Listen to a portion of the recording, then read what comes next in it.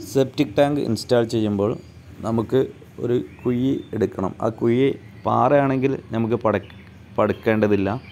മണ്ണാണെങ്കിൽ നമുക്ക് അതിന്റെ സൈഡ് ഭാഗം പടവ് ചെയ്യണം. എന്നിട്ട് അതിന്റെ ഗ്രൗണ്ട് ഭാഗം നമുക്ക് ഒരു കോൺക്രീറ്റ് ബെഡ് ചെയ്യേണ്ടതുണ്ട്. ഒരു പത്ത് സെന്റിമീറ്ററിൽ ഒരു കോൺക്രീറ്റ് ബെഡ് ചെയ്യുക അത് വാട്ടർ ലെവലായിട്ട് ചെയ്യണം. അതിനുശേഷം നമുക്ക് ടാങ്കിനെ കുഴിയിലേക്ക് ഇറക്കി വെക്കാം. ഇതുപോലെ ടാങ്കിനെ നമുക്ക് കുഴിയിലേക്ക് ഇറക്കി വെക്കാം.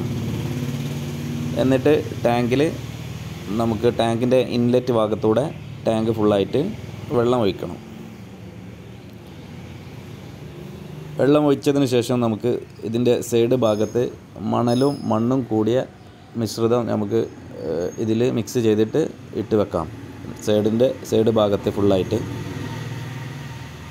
അതിനുശേഷം നമുക്ക് ഈ ടാങ്കിൽ കുറച്ച് ചാണകം കലക്കി ഒഴിക്കാം. ഇത് ബാക്ടീരിയ ഉണ്ടാക്കാൻ വേണ്ടിയിട്ടാണ്.